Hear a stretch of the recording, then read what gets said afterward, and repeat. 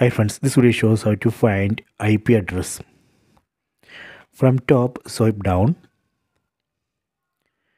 Then tap and hold on this Wi-Fi icon. Tap and hold. Tap on details.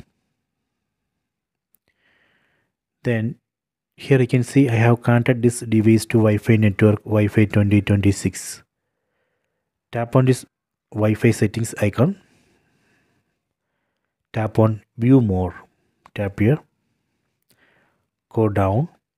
Here you can see the IP address assigned to this device from Wi-Fi router Wi-Fi 2026 this is the IP address 192.168.31.168 so this way we can find uh, IP address of the device.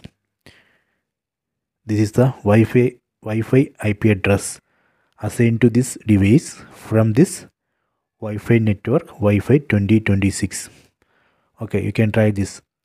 I hope you have enjoyed this video. Please subscribe this channel. Please like and share the video